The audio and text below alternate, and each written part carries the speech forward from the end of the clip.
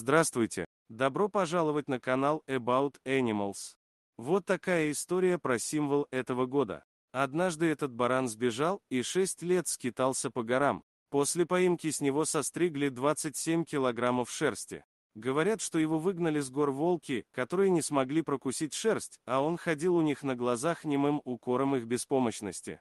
Тупой, как баран, что уставился, как баран на новые ворота. Можно вспомнить еще несколько подобных поговорок, но и так понятно, что человек думает об умственных способностях барана. А вот забавная история, история, говорящая о том, что не все так просто.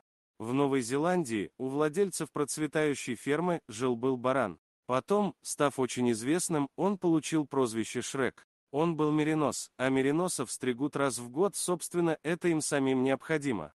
Шрек, наверное, считал, что такая чудесная шерсть, которая украшала шкуру, нужна ему самому. И однажды, в день глобальной стрижки, он сбежал и прятался в пещерах. Потом тихонько возвращался в стадо, получая вместе с другими овцами безопасный загон и организованный выпас. Он повторял свой побег на протяжении шести лет и оброс так, что, если бы он упал, то не смог бы встать под весом шерсти. Руно, которое он любовно растил на себе, весило 27 килограммов. Когда Шрек, наконец, был пойман, он сразу снискал славу. Он был стрижен в прямом эфире на национальном телевидении Новой Зеландии, и его гигантская шуба была продана с аукциона, на котором собирались деньги для детских медицинских благотворительных целей. Шрек встретился с тогдашним премьер-министром Новой Зеландии Хелен Кларк и стал героем детских книг и благотворительных концертов. Два с половиной года после первого прямого телеэфира Шрека подстригли еще раз перед камерами, на этот раз на айсберге, плавающем у берегов Данидин, Новая Зеландия.